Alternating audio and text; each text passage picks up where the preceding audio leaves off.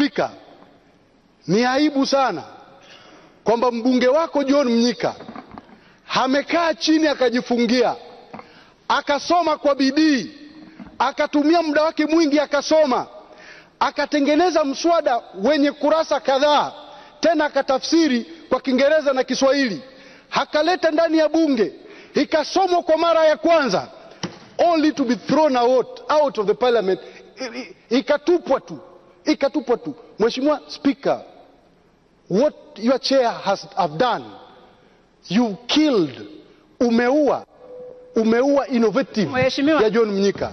You've killed his creativity. Okay. You've killed his energy. Naomba ukae chini. Kufuatana na kanuni, you cannot attack the chair of the chair. Kuna utaratibu wa kukufuatia kukufuata. Kwa hiyo naomba withdraw maneno yako yote, sio sahihi. Mheshimiwa Mwenyekiti, Mheshimiwa Spika, waliosoma wanasema mambo jadili mswada. telling the king that he has a bad breath is not a sin. You're only trying to spare the king embarrassment in the public. That's what I'm trying to do here. Kanuni hazikuruhusu. Na withdraw Mheshimiwa Spika. Thank you very much. Mheshimiwa Spika, naomba niweke msingi kwamba sishutumu kiti, lakini Mheshimiwa Mwenyekiti, ninachosema ni kwamba ndani ya bunge hili wabunge wanapoleta private members bill, Mheshimiwa Mwenyekiti, Mheshimiwa Spika, hii ni sehemu ya kazi yao. Tunatakiwa tu encourage critical thinking tunatakiwa tu encourage ubunifu wa wabunge wetu.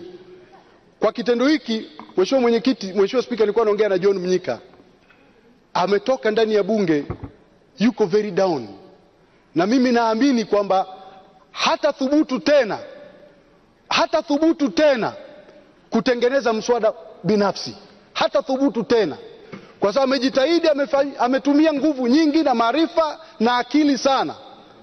Akaleta ikasomwa mara ya kwanza, alafu ikapelekwa ikatupwa huko through back door in the name of kamati imekaa na wakakubaliana iletwe mswada wa serikali. Mimi ninachohoji hivi, serikali ilikuwa wapi mpaka wasubiri John Mnyika alete bill ndio na wao walete ya kwao? Where was the government? Tukisema serikali inalala, mnasema eti tutatumia maneno makali dhidi ya serikali.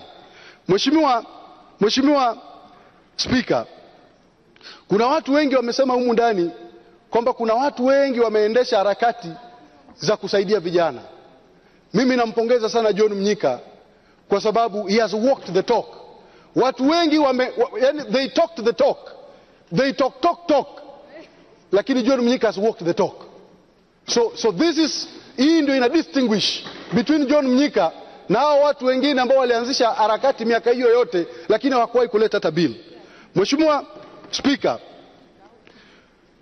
kama hii ya John Mnyika haitoshi, kamati ya budget ilileta mswada, wakina Oscar wale watumishi wa bunge wale wanasheria wamefanya kazi kubwa ya kuandika mswada, wameshatengeneza mswada, ndio serikali nao wanakuja through back door na mswada mwingine ule, ule mswada ukatupwa.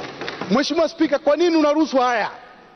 Kwa nini unaruhusu haya kudiscourage energy na efforts ambazo wabunge wanaleta wana, their creativity you are killing them this is what I'm saying Mheshimiwa Spika katika historia nimekaa hapa mimi tu kwa miaka mitano ambayo Mungu ameniwezesha kukaa hapa miaka mitano hii nimegundua kwamba bunge ambalo ni gumu mno kusponsor private members bill ni bunge la Tanzania. It's quite frustrating. Sasa sijui kwa nini tulikuja hapa hivi. Sisi tumekuja kupitisha sheria.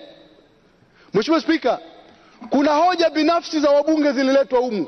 Nakumbuka Januari Makamba alileta hapa, hapa hoja kuhusu pango, kuregulate masuala ya pango. Hiyo hoja ilienda kwenye dustbin baada ya kuwa tabled hapa, it went to the dustbin na bunge linaisha.